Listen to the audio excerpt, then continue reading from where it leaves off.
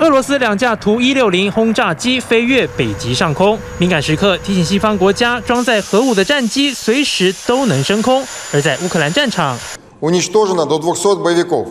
俄罗斯国防部释出画面，看到树林大爆炸，号称摧毁乌军部队和武器库。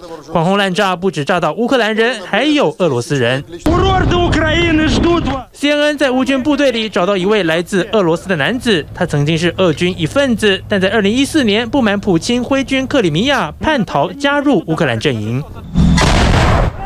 不料今年开战不久，他在基辅作战时被俄军坦克击中，全身上下都是伤。当时闪过第一个念头：如果被俄军抓走，绝对死路一条。I tried to crawl away and wanted to blow myself up with a grenade to avoid being taken prisoner。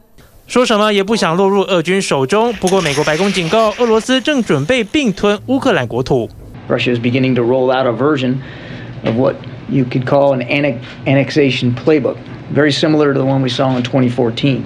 根据美国情资，俄罗斯已经在许多占领区扶植亲俄政府，接下来可能举办假公投加入俄罗斯。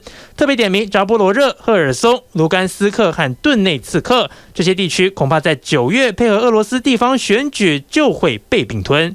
And we know their next moves.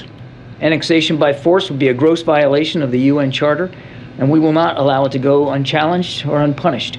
另外，科比也预告，美国白宫接下来几天就会宣布第十六波对乌军的新援助计划。TVBS 新闻综合报道，请支持 TVBS 国际 Plus 全新频道，让您扩大视野，掌握趋势，接轨全世界。恳请订阅，开启小铃铛。